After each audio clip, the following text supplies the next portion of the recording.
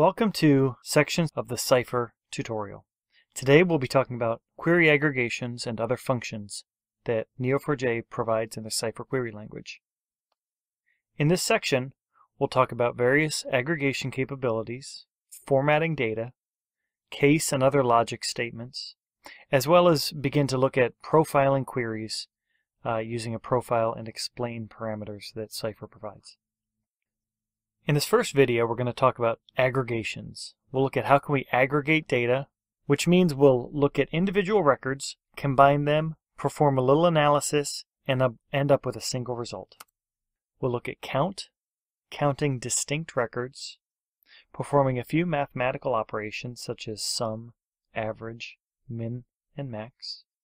We'll calculate standard deviation, and we'll collect individual records across a result set into a array of data. To begin with, we'll look at our Neo4j database, and we'll start with a blank slate. We'll make sure we have no records, and then we'll load a and then we'll load one of the data sets provided by Neo4j, the movies data dataset.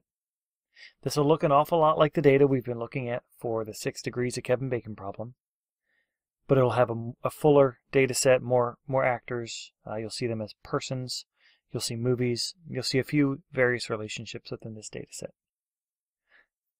To load the data, begin in the Neo4j browser. And you can offer a shortcut command called play movies. What this does is it provides a mini application or a, a little graph of database that you can install. So you click on the data, it provides a lot of Cypher statements. Press play, and you'll see it'll load the data. Perusing the data, we can quickly see that we have movie nodes and we have person nodes. When we look through, we can see a person has acted in, so that's one of the relationships, acted in.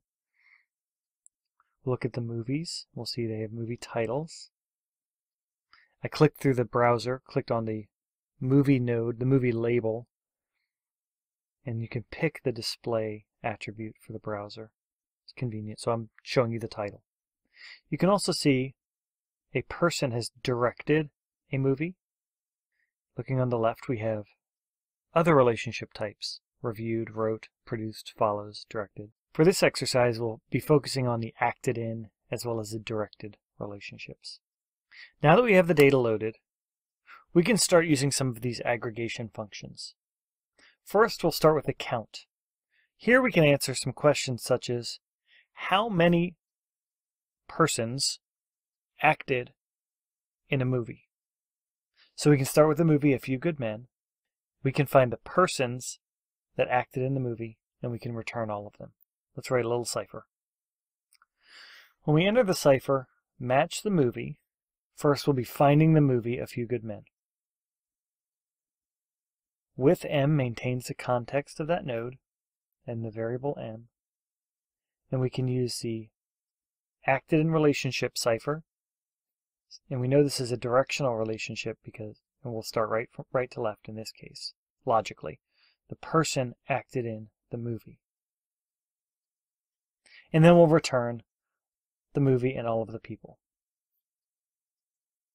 Here you can see there's approximately 12 persons. There are 12 persons in one movie we can see that Aaron Sorkin acted in and wrote the movie, interestingly. Now, if we wanted to change some Cypher to use the count construct, we can start with the same movie. Now we'll use the count construct to count how many people acted in this movie. We'll modify our query a little bit, where we can match the movie find the people who acted in it, and we'll count them. Now here we won't get a graph result of the people. Instead, we need to look at our rows in the browser to see the actual result set. Since we returned M as the reference to the movie node, and then the count, in this case, is 12. If we wanted to count how many people were in that movie only, we can take out the movie node variable m from the return statement and just get the count of 12. Next, we'll get some mathematical analysis using the min, max, average, and sum statements. Now, each of our movie nodes has an attribute of released. We can write one Cypher statement to show the min, max, and average released dates from these movies. In the Cypher browser, we'll start our query, we'll match all movies, and we'll return the minimum released date, the maximum released date, and the average released date. And across the dataset, we can see the first movie that was released was released in 1975. The latest was released in 2012, and the average is 1998. About a quarter of the way through 1998. So, early April. Now, averaging dates in this case doesn't really make much sense, but here we get to show the mathematical aggregation functions that Neo4j provides.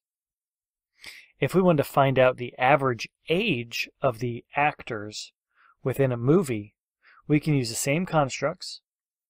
We can find the persons that acted in the movie like we did before, but instead of returning a count of those person nodes, we can now perform some mathematical calculations where we can subtract the person's birth year from the movie released year to get their age at the time the movie was released. Here we'll start with a few good men again. We'll find the movie node. We'll find the person nodes in that movie, and we'll return the minimum. So we'll find the youngest actor from the movie, the average age of the actors in the movie, and the oldest age of the actor in the movie. And here you can see the youngest was 21, the oldest was 55. There are a few other aggregation functions for numbers that exist within the Cypher query language, including sum and standard deviation. Again, in the movie dataset, adding up the years the movie was released and finding the standard deviation of the movies released isn't totally practical, but we can show off the functions. Back in the browser, we'll find all the movies.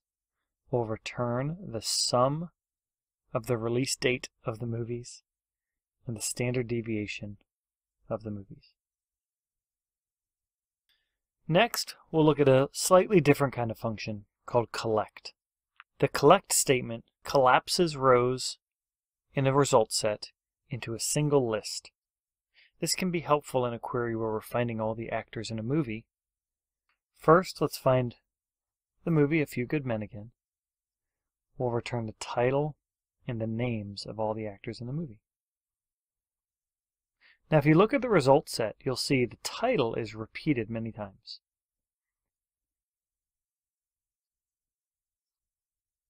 And for each row in the result set, we have the same movie repeated and a new name of the person who acted in that movie.